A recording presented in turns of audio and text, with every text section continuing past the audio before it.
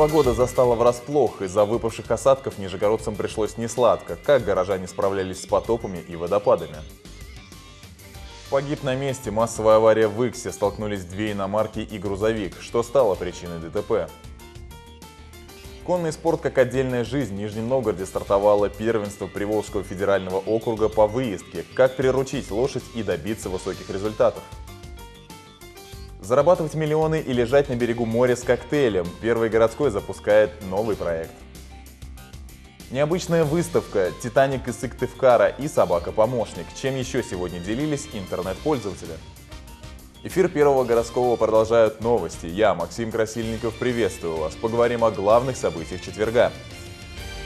И вот с чего начнем. Давайте доставать каноэ. Область атакуют осадки, наводнения, водопады и общественные бассейны. Вечер среды для нижегородцев закончился обильным дождем. Начался он в конце рабочего дня, когда горожане спешили домой. В итоге некоторые районы Нижнего Новгорода затопило. Хуже всех пришлось тем, кто оказался в нижней части города.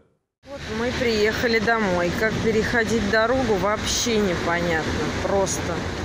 Эти кадры нам прислали жители проспекта Кирова. Неподалеку от их дома образовалось препятствие в виде гигантской лужи, которая перегородила путь через дорогу.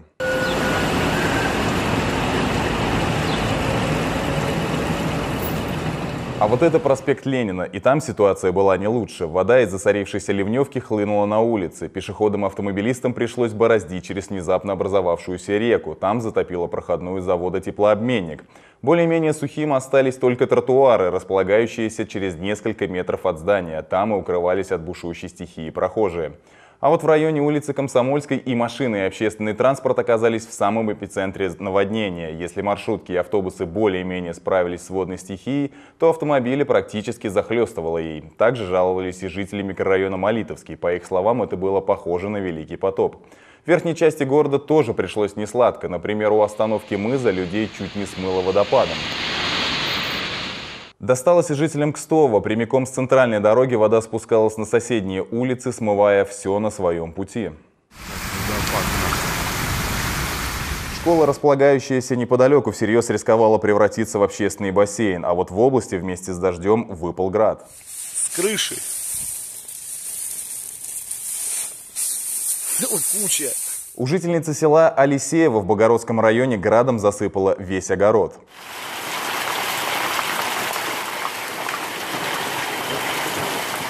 И это далеко не все точки региона, жители которых столкнулись с разбушевавшейся майской стихией. К слову о затопленных дорогах и тротуарах в нашем городе. Еще год назад мэр города обещал построить новые ливневки в Нижнем Новгороде, однако пока до практики дело не дошло.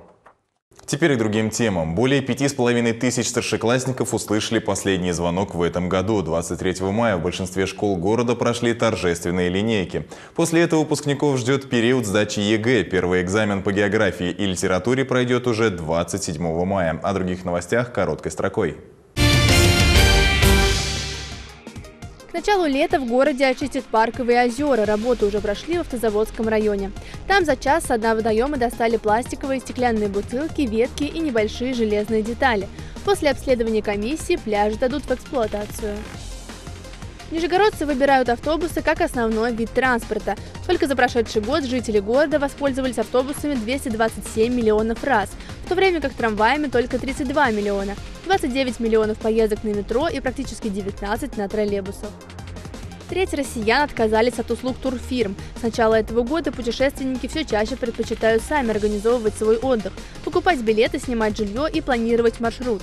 Также до 12% увеличилось число россиян, которые в отпуске собираются взять в аренду автомобиль. Шесть видов животных в России находятся под угрозой исчезновения. Среди них сайгак – небольшая антилопа с расширенными носовыми полостями, которые помогают прогревать холодный воздух, который звери вдыхают зимой во время быстрого бега. Кречет – птица из отряда соколообразных, переднеазиатский леопард, лопатень. Плоский клюв этой птицы скорее напоминает ложку, которую он погружает в мягкий ил для добычи корма. Сахалинский осет и калуга – большая хищная рыба но при этом специалисты отмечают и положительные моменты. Например, в 40-х годах насчитывалось всего 50 особей амурского тигра. Сейчас количество возросло до 580 особей.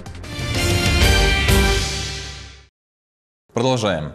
Их сложно поймать, но легко оценить ущерб от них. Браконьеры в Нижегородской области продолжают расставлять свои сети, нарушать закон и губить природу. Но теперь их жертвами становятся не только речные обитатели, но и птицы. Снимай.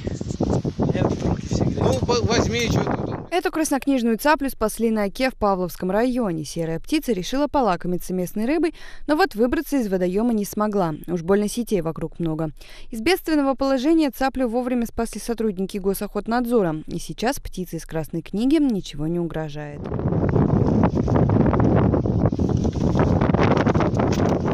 Серая цапля уже много лет занесена в Красную книгу области, и не из-за количества особей. Мест для ее обитания в регионе не более 20.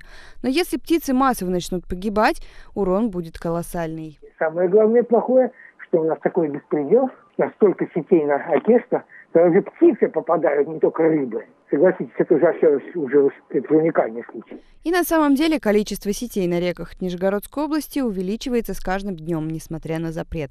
Так, за один день активисты выловили 375 незаконных средств ловли протяженностью 23 километра и спасли около тысячи экземпляров речной рыбы. Напомним, до 15 июня в области действуют ограничения на ловлю рыбы. Причина тому нерест. Ловить рыбу в этот период можно только с берега и на удочку. Вот если вы решите нарушить правила, то штрафы вас не порадуют. Так, за одного леща вы заплатите 500 рублей, за судака 3000, а за стерлядь отдадите почти 5. Но не забывайте, что эта сумма может умножиться на количество пойманных рыб. Ну а если вы стали свидетелем браконьерства или на ваших глазах дикое животное попало в беду, звоните по номеру 4 33 22 11. И помните, только мы можем спасти нашу природу и окружающий мир. Грациозные животные, красивая форма и стук копыт. В Нижнем Новгороде стартовало первенство Приволжского федерального округа по выездке. Как добиться высоких успехов и найти подход к строптивому коню, узнала наш корреспондент Алена Зеленкова. А, Его зовут Багратион, ему в этом году исполнилось 9 лет. Последние подготовки перед заездом Катерина Дедикова, лауреат всероссийских конкурсов и абсолютный победитель Кубка Федерации. Говорит, что конный спорт – это целая отдельная жизнь. Прийти несколько раз в неделю, потренироваться как на снаряде и уйти действительно не получится. Найти общий язык, а они иногда бывают привередливые. Но у меня хорошо получается, мы с ним часто проводим время вместе и гуляем. Каждые выходные приезжаю, выпускаю его в Леваду, где он может сам побегать, привожу ему всякие вкусняшки. Так что он не жалуется. И все это не просто развлечение, умение договориться, доверять, а главное чувствовать лошадь как самого себя, очень важно для верховой езды. Между лошадью и человеком должна быть настоящая дружба. Результат только на 50% зависит от тебя и на 50% от твоего партнера. Вот поэтому всегда нужно работать в команде и никогда не забывать, что он твой партнер. Молодец. Научиться ездить на лошади недостаточно. Чтобы добиться высоких результатов, важно наладить контакт, иначе говоря, подружиться. У каждого участника для этого есть свой способ.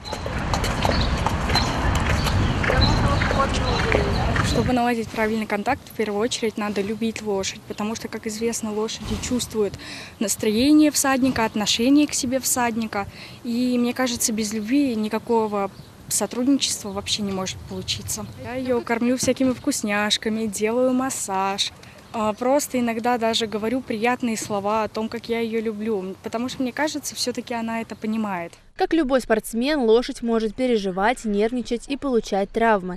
В трудные минуты животным очень важно чувствовать поддержку своего хозяина. Зимой конь получил травму, и мы, конечно же, с ветврачом были, там делали упражнения специально, чтобы он вошел в форму. И сейчас восстановились потихоньку, все хорошо. Может, ему что-то не нравится, может, что-то жмет, может, э, у меня там плохое настроение, там надо подойти, выдохнуть, к маме, например. Вот. Скушать шоколадку тоже помогает очень хорошо. Верховая езда прежде всего огромное удовольствие. Существует даже особое лечение – ипотерапия. С точки зрения психологии контакт с лошадью дарит человеку множество позитивных эмоций, помогая раскрепоститься, снять стресс и поднять настроение. Но заботьтесь о своем здоровье, не забудьте и про своего четвероногого друга. Как всадник мог встать не с той ноги или перенервничать, так и лошадь тоже может. Она чувствует, что она выступает. Какие-то любят лошади выступать, они готовы к этому, они понимают, что происходит. Некоторые, конечно, боятся. Боятся. Лошади, животные такие пугливые. На чемпионат Приволжского федерального округа по выездке зарегистрированы 150 пар участников. Соревнования идут 4 дня с утра до позднего вечера. В 30 видах программы, включая произвольные выступления участников под музыку. Среди спортсменов ребята из Башкортостана, Чувашии, Кировской и Самарской областей, Республики Коми и другие. Уже через пару дней мы узнаем имена победителей и призеров, которые получат подарки и денежные призы. А пока гонка за первенство продолжается. Алена Зеленкова, Иван Масов, служба новостей «Город».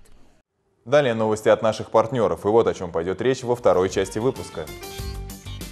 Погиб на месте. Массовая авария в Иксе. Столкнулись две иномарки и грузовик. Что стало причиной ДТП?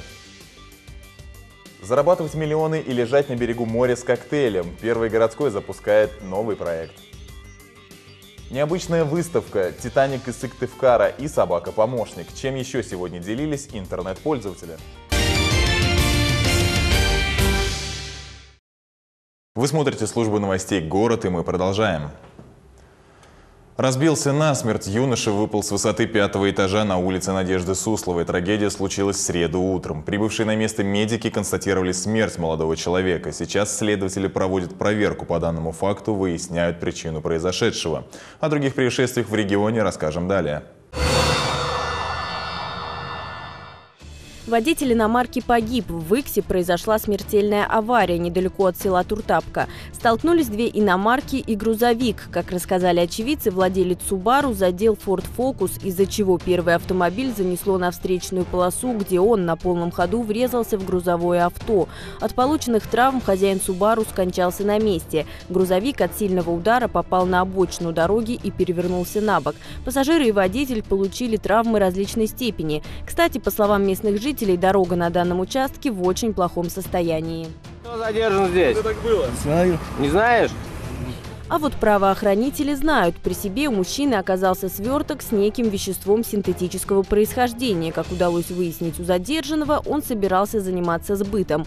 На подозреваемого возбудили уголовное дело. Оказалось, что он такой не один. Сотрудники полиции поймали другого жителя Бора, у которого при себе оказалось наркотическое средство. Он рассказал, что это вещество он приобрел для себя. Сейчас следователи устанавливают все подробности произошедшего. Кроссовки, кепки, юбки, джинсы и игрушки. Изъято более двух тысяч контрафактных вещей. Вся продукция продавалась под марками известных брендов, однако соответствующих документов у владельца торговой точки не оказалось. Сейчас одежду, игрушки и аксессуары отправили на экспертизу. Административное правонарушение констатировали защитники правопорядка. Статья «Незаконное использование средств индивидуализации товаров».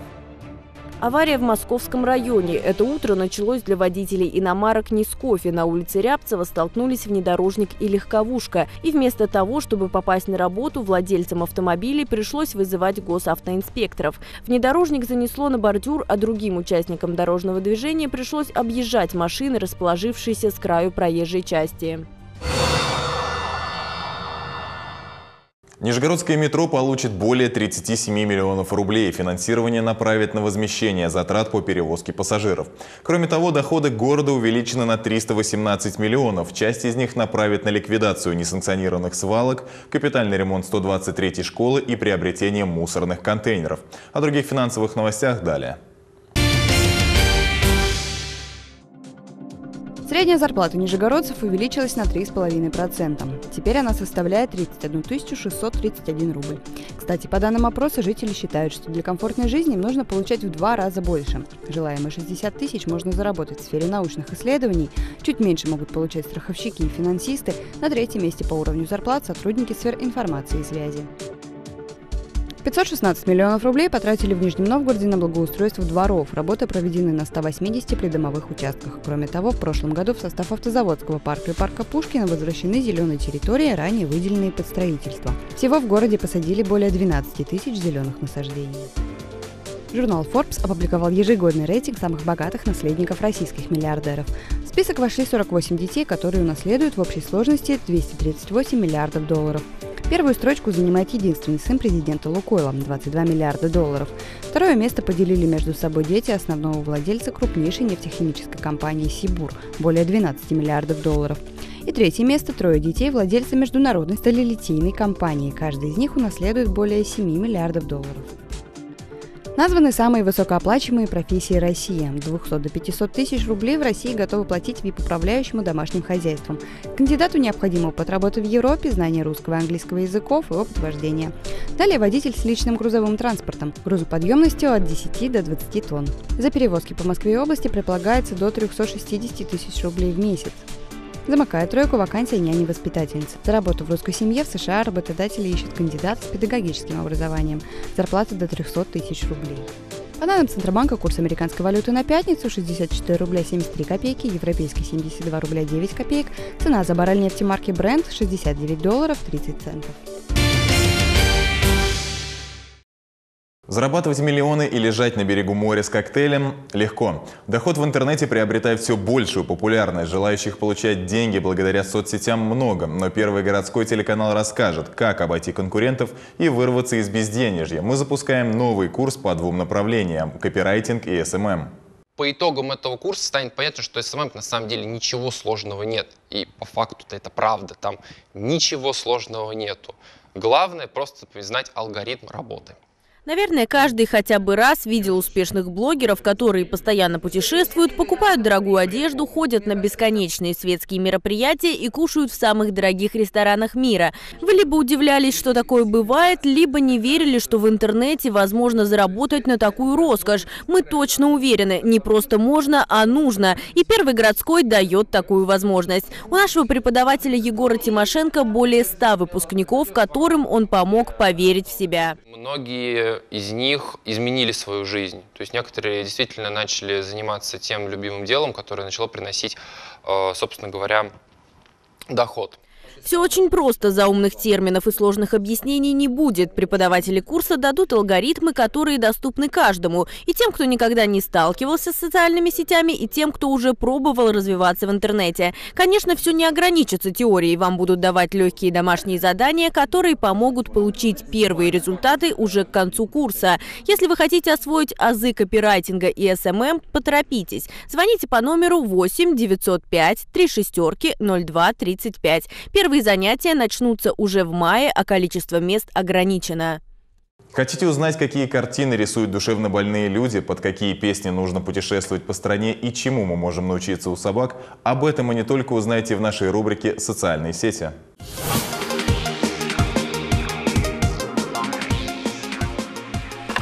Интересный факт. Нижегородской психиатрической больнице исполняется 130 лет. В честь этого на территории лечебницы можно увидеть необычную выставку. Только посмотрите, какие яркие и классные картины рисуют пациенты с ментальными расстройствами.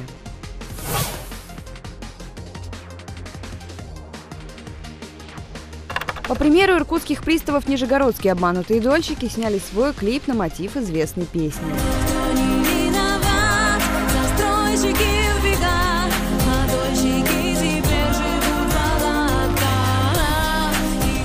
Слову, авторы песни уже месяц живут в палатках около недостроенного жилого комплекса.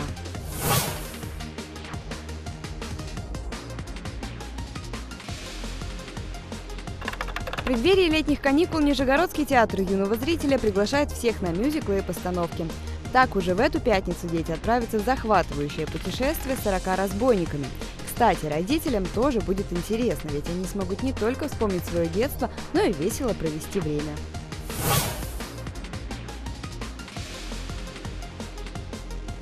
Водитель с юмором из Сыктывкара включил своим пассажирам хит «Титаника», пока они ехали по реке.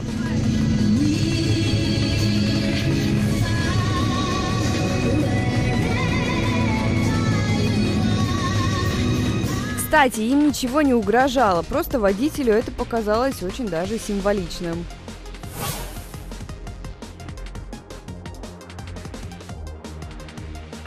Маленькое чудо. Эта австралийская овчарка помогает своему слепому другу перейти дорогу.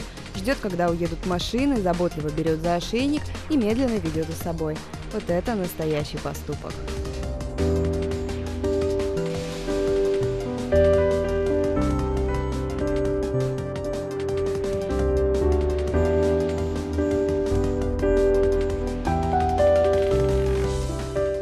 А теперь к хорошим новостям от наших телезрителей. Чем порадовал их этот день, они рассказали съемочной группе Первого городского.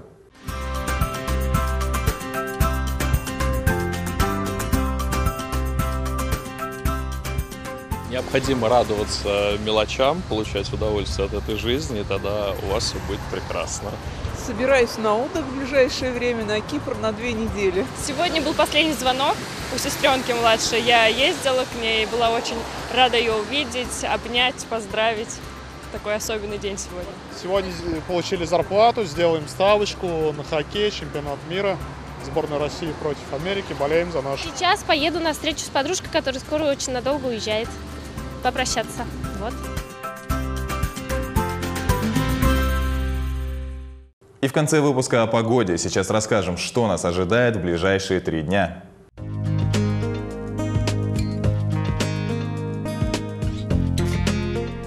Двадцать четвертого мая в пятницу днем плюс 14 градусов малооблачно, ночью плюс 8 облачно с прояснениями. В субботу 25 мая днем плюс 18 градусов ясно, ночью плюс 13 малооблачно. 26 мая в воскресенье днем плюс 21 градус, возможен небольшой дождь. Ночью плюс 16 градусов пасмурно. На этом пока все. Хорошего вам настроения и до встречи в городе.